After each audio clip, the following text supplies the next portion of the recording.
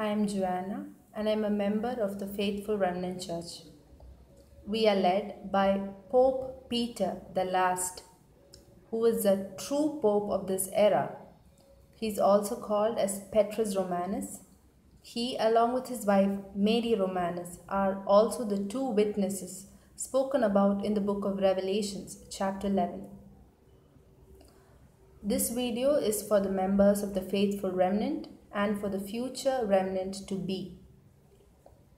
All the messages that I'm going to quote are mere excerpts from testimony of the two witnesses.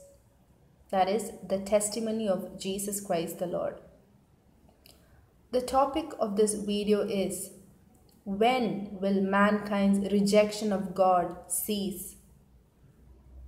You might be telling yourself, I did not reject God. I don't doubt God. Well, then there is something that you need to hear. If you reject the two witnesses, if you reject the last true Pope of this era, if you reject the Most High True God's testimony, then you are rejecting God. God does not bow down to the will of man. But if you need God to help you, you will need to believe and do all that He is asking of you.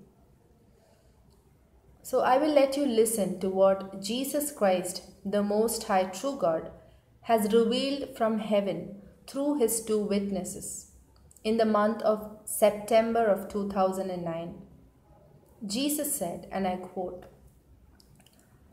Love is the foundation and cornerstone of all that encompasses the good for there is good in all that I have created by my words. However, mankind has polluted, even snuffed out the goodness he has inside himself. All good things come from me, and all bad things that happen to good people as well. But I will sustain them during the trials they go through. I will help them if they will turn to me in order for me to heal them. For mankind is truly lost without being led by the divine power that comes from without, not within. I speak of the power to love selflessly. Wars, famines, pandemics, disasters of every kind are all because mankind has turned away from its Creator and has sought out companionship with fellow creatures instead.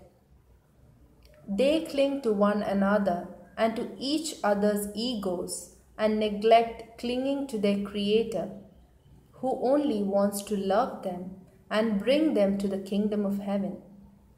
So many protests, so many no's.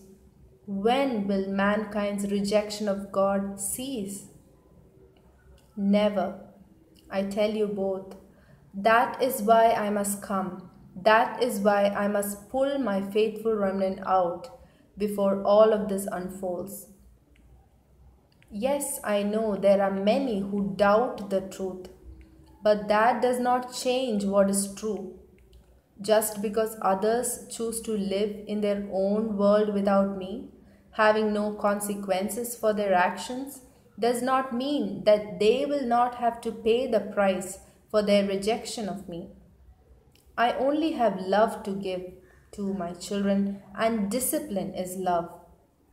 Just because they ask me for what they want does not mean that I will give them that, but only what they need is truly good for them. Soon the world will be remade.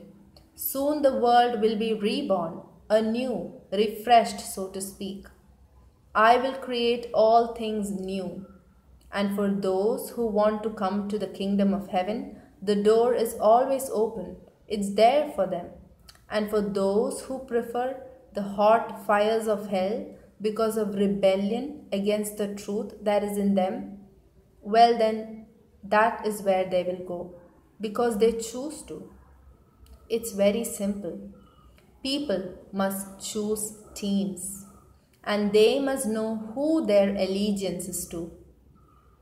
The introduction of the VeriChip is simply a concrete manifestation of what they have already chosen, of the spiritual realities at work in them. People can deny me and go on believing that heaven and hell do not exist and that their life is over after death. But I tell you, they cannot deny the spiritual realities when they are faced with them. How frail and how weak are mere mortals, they are about to find out. They have pushed me out of creation. They have pushed me out of the churches, out of my own church. They have pushed me out of the schools. They have even pushed me out of the hospitals. I am not welcome in this world as a whole, except for a very few faithful remnant. I will not sit back and be a mere spectator of the world events, but I will have a divine intervention, such as the world has never experienced before this time.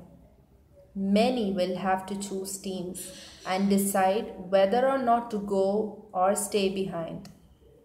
They will have to choose between family, friends, life, and death.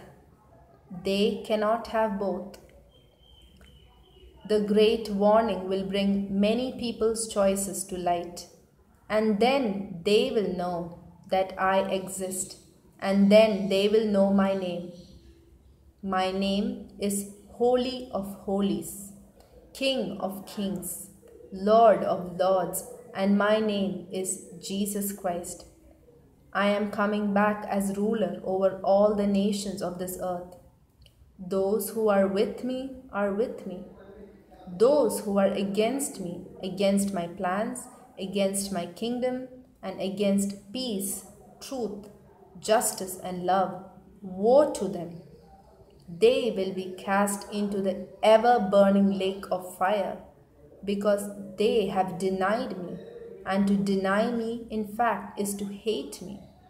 To hate me is to hate life and truth. There is no life in hell, neither is there any truth there. O foolish men, what you have brought upon yourselves by your sins has been declared by all of heaven, who watches you with pity as you catapult yourselves into the fiery pits of hell because you think it's warmer there. You have been so deceived, and now you will pay the price for your sins. End quote. So now, while there is still time, turn back to your Creator, your Lord, your God. Repent wholeheartedly of all your sins before the time runs out this is the end times, and this era is rapidly coming to an end. Don't keep waiting for the microchip implant or the rapture. The rapture is not happening.